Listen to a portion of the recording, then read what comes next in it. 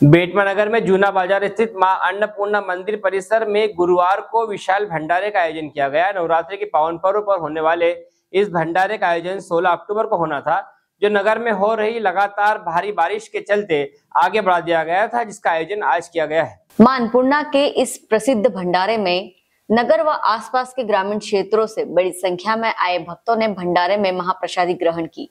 भंडारे से पूर्व भव्य आरती का भी आयोजन किया गया था, जहाँ भक्तों ने आरती का भी लाभ लिया। इस अवसर पर माँ अन्नपूर्णा का विशेष रूप से श्रृंगार किया गया था। वहीं मंदिर को भी आकर्षक रूप से सजाया गया था। नवरात्रि में बैटमा नगर की माँ अन्नपूर्णा का यह प्रसिद्ध भंडारा देर रात तक चलता रहा। इस विशाल भंडारे में लगभग हज़ारों की संख्या में पहुंचकर श्रद्धालुओं ने महाप्रसादी ग्रहण की। हिंदू धर्म में दान का अत्यधिक महत्व है। प्राचीन समय से ही राजा महाराजा हवन, पूजा पाठ अनुष्ठान आदि करने के बाद अपनी प्रजा में अन्न, वस्त्र, भोजन आदि बांटते थे।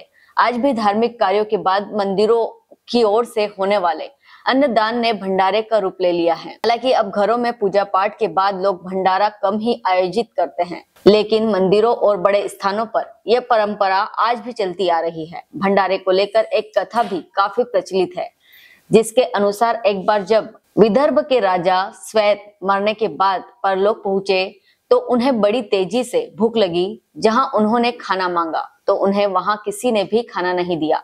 राजा की आत्मा ब्रह्मदेव के पास पहुँची और उनसे पूछने लगी कि आखिर क्यों उन्हें भूख लगने पर भी खाना नहीं दिया जा रहा है। तब ब्रह्मदेव ने राजा विदर्भ को बताया कि उन्होंने अपने जीवन काल में कभी भी अन्नदान नहीं किया। इसी कारण से उन्हें भी भोजन नहीं मिलेगा। तब राजा ने अपनी आने वाली पीढ़ी को इस स्वप्न में आकर अन्नदान करने और भंडारा करने के लिए कहा। बस तभी से भंडारे की परंपरा चल पड़ी। बैटमा इंदौर से राजन सूर्यवंशी की रिपोर्ट। बोले, माता अन्नपूर्णा की जय। अन्नपूर्णे सदा पुण्य शंकर प्राण वल्लभे ज्ञान वैराग्य सिद्ध्यर्व भिक्षाम देही पार्वती। माता श्री अन्नपूर्णा। अन्नपूर्णा मंदिर में माँ अन्नपूर्णा का भव्य भंडारा प्रारंभ हो चुका है। सारे भक्त यहाँ प्रसादी ले रहे हैं और सभी भक्तों से निवेदन है कि आप आइए और माँ अन्नपूर्णा के भंडारे में प्रसाद ग्रहण करिए। जय माता की। सही भक्तों के ऊपर माँ की कृपा बनी रहे। आज पूरा बेटमा नगर के अंदर एक अलग ही उत्साह देखने को मिल रहा है क्योंकि यहाँ पे बेटमा नगर के अंदर जो माँ अन्नपूर्णा विराजमान है आज बेटमा नगर के भक्तों की एक जहाँ पे जो एक बहुत बड़ी एक आस्था का केंद्र है माँ अन्नपूर्णा मंदिर।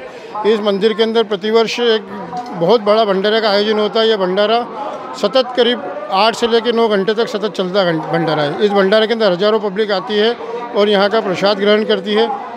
माँ शक्ति की आराधना के बाद जो भंडारे का आयोजन किया जाता है, इसी भंडारे के तहत आज भंडारा रखा गया है यहाँ पे।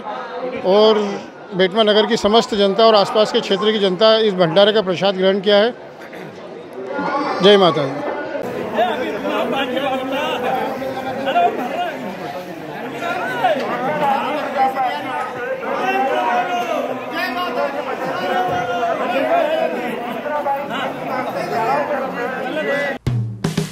हेलो फ्रेंड्स आप देख रहे हैं हमारा channel S W twenty four news हमारे सारे वीडियो सबसे पहले देखने के लिए आप हमारे चैनल